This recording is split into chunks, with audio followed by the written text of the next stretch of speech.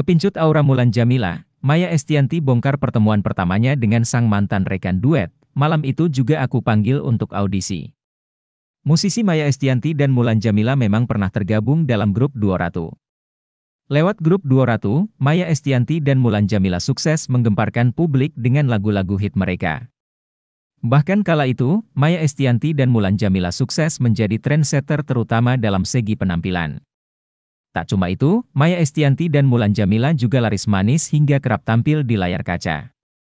Maya Estianti dan Mulan Jamila saat itu benar-benar menemui masa kejayaan dalam karir mereka. Bahkan, mereka menjadi salah satu grup yang mendominasi panggung hiburan. Namun sayang, grup yang dielu-elukan seantero negeri itu malah bubar dan terpecah belah.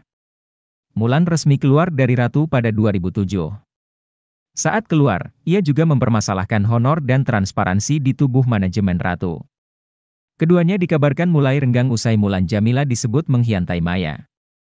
Ya, hal tersebut dipicu usai Mulan dianggap telah menjadi orang ketiga dalam rumah tangga Maya dan Ahmad Dhani. Buntut dari hal itu, Mulan Jamila pun dihujat habis-habisan. Padahal, usut punya usut, sudah jadi rahasia umum bahwa Maya sendirilah yang menemukan Mulan menjadi rekan duetnya. Ya, Hal itu terekam sempurna dalam Untold Story di channel YouTube Net TV edisi Sabtu, 7 Maret 2020. Dalam acara tersebut, Maya mengaku bahwa ia menemukan Mulan hanya dari sebuah foto.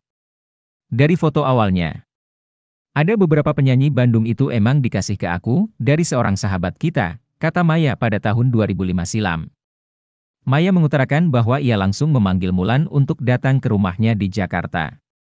Ia ingin mengaudisi Mulan dan menyuruh sang penyanyi kafe itu berdendang sembari syuting bersama. Malam itu juga aku panggil ke rumah untuk audisi, aku syuting dan aku suruh nyanyi, lanjutnya lagi. Seakan sudah ditakdirkan, Ibunda Al, El dan Dul itu pun langsung merasa klop dengan Mulan yang bahkan belum ditemuinya. Dan kayaknya hatiku itu langsung konek, ujar Maya lagi sembari tersenyum. Namun siapa sangka jika pertemuan yang membuahkan lagu-lagu hits seperti Lelaki Buaya Darat dan TTM itu justru berakhir dengan bubarnya Duo Ratu dan perceraian Maya. Ya, Mulan dan Maya akhirnya berpisah sebagai duet pada tahun 2007. Setahun kemudian, Maya dan Dani pun bercerai sebelum akhirnya sang musisi Dewa menikah dengan Mulan Jamila. Kini hubungan Maya dan Mulan Jamila diketahui masih merenggang.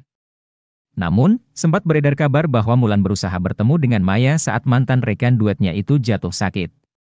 Ikuti terus berita-berita kami yang terupdate, terpercaya dari berbagai sumber, dengan cara klik subscribe dan juga loncengnya, agar Anda selalu mendapatkan notifikasi jika channel YouTube ini mengupload video berita terbaru.